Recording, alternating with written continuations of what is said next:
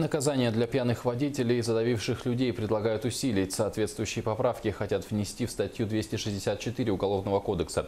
При этом пункты, касающиеся трезвых виновников ДТП, останутся без изменений.